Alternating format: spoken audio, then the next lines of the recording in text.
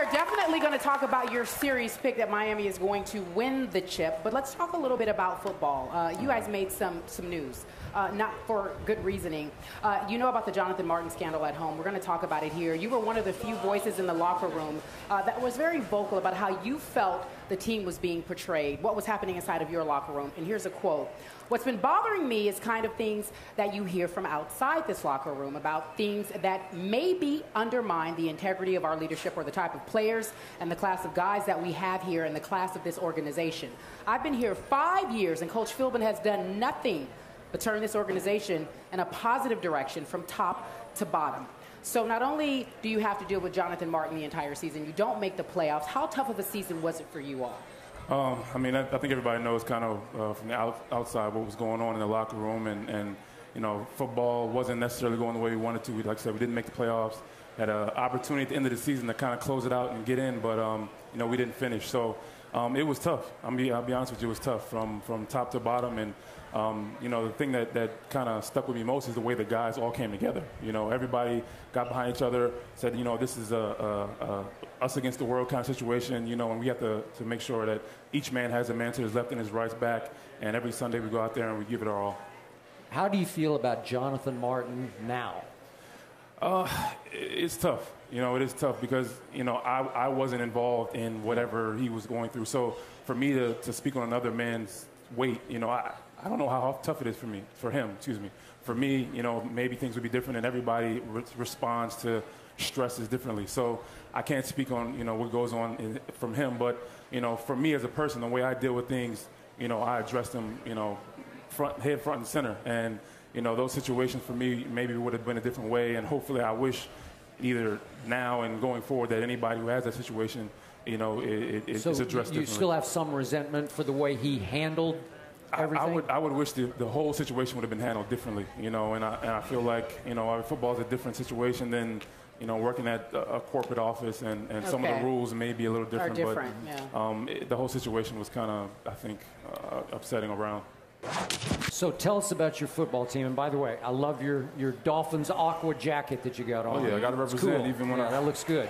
Thank you. Appreciate okay, it. Okay, it's hard for me as we sit here right now to make a case for your team being that competitive within a division that's still, to me, dominated by New England, with the Jets moving just a little bit above you guys. How do you feel about that uh, stance of mine? Well, obviously, I've been here for a little while, and, and there's no doubt that New England has had given us trouble for the past few years. Um, you know, but I, I, go off of, you know, the things that I see day in and day out. You know, the way I've seen guys progress and, and the strides that we're making, you know, not just individually, but as a team. And, you know, even going into last year where, you know, I look at that division and, you know, we end up splitting with uh, the Jets, splitting with New England, and then Buffalo beat us twice, you know, and mm-hmm. it feels like every week that we play those division games, it's going to be a game. It's not like, hey, we're just coming here and New England's going to win or Buffalo's going to get squashed. Or it's every week, week in and week out, it's going to be competitive. And uh, of course, I, I, think that we're making strides toward being the top of that division. And um, I think we've shown that over the past season. We just got to do it more consistently. But would you still say New England at this moment, adding Revis, deserves to be ranked as the top team in your division? Uh, I, it'd be hard for me to say that. You know, I feel like again, I'm of course I'm biased. You know, being in that locker room and being on the field, we just literally finished our OTAs, and you know, I've seen the things that, that the guys on even on offense, they're making tremendous strides with the new coordinator, and um, I, am looking forward to you know making that, that that statement you made, making you have to question that coming okay. up this season. Skip doesn't believe in Ryan Tannehill. Do you? I do. I do. Why? I think, again, I, I, you got a guy who's coming in young, and I know everybody has their bumps going along the road, is, is trying to learn the NFL. Sure. And he sure, he sure had his, but every day, literally, I'm, I'm, a guy chasing him around the field, yeah. you know, and I'm watching him make the reads that maybe he didn't make uh, a couple years ago, or, or, making plays that he didn't make, and, and moving forward, you know, he's gotten better every season, and I know this season is going to do the same. All right. Back to uh, basketball. Mm-hmm. Miami Heat in seven?